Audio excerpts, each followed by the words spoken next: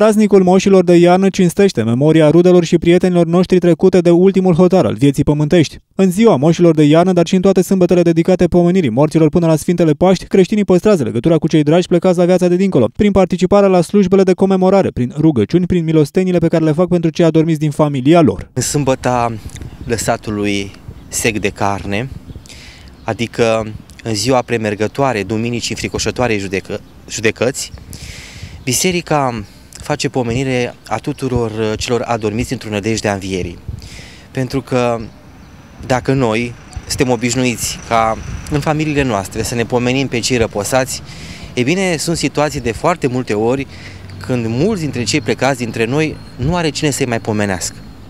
Tocmai de aceea, biserica s-a îngrijit ca să existe două sâmbete speciale și iată noi vorbim despre această sâmbătă a moșilor de iarnă, pentru ca să fie pomeniți toți aceia care au adormit. În sâmbătă dinaintea Duminicii Lăsatului de Sec, creștinii fac pomenirea morților, pentru că în duminica următoare biserica a rânduit să se facă pomenirea de înfricoșată judecată și a doua venire a Domnului la care se vor înfățișa toți creștinii. De asemenea, ă, sâmbetele sunt ă, rânduite ca zile de pomenire pentru că în ziua de sâmbătă Dumnezeu s-a odihnit pe de o parte atunci când a creat lumea, pe de altă parte să, faptul că, și cel mai important lucru acesta este că Mântuitorul în ziua de sâmbătă s-a pogorât la iad și a scos de la iad ducând la rai pe toți drepții Vechiului Testament. Sfinții părinți au rânduit ca sâmbătă să se facă pomenirea celor adormiți, pentru că este ziua în care Hristos a stat cu trupul în mormânt și cu sufletul în iad, ca să elibereze pe drepții adormiți. Pe de altă parte, sâmbăta este deschisă spre duminică, ziua învierii cu trupul. Duminica este numită și ziua a opta pentru că este ziua începutului fără de sfârșit. Ea nu va mai fi urmată de alte zile și va fi eternă.